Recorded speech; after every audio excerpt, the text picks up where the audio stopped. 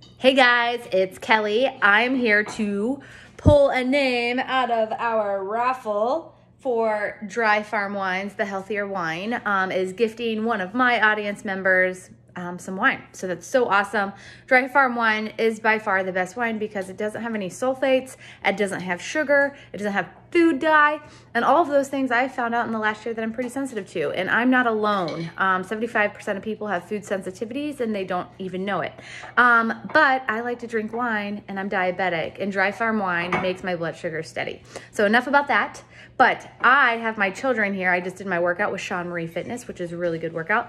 And I have Declan, he's my cameraman.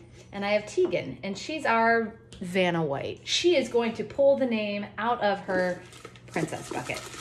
All right, guys. So, Declan, I'm going to give you the camera. Let's see if I can do this right. Nope, I don't know. Um, shoot, I don't know if I can do it. I can't turn the camera on. All right. We'll just get Declan in anyways because he's such a helper. Tegan, can you pull a name out of the bucket? Uh, yes. If not, I might ask Declan. I'll read the name for you. Yeah, let Dexy read the name. Let's.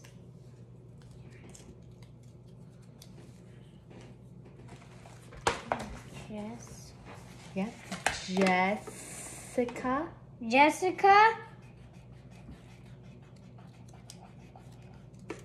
What's that? Irwin.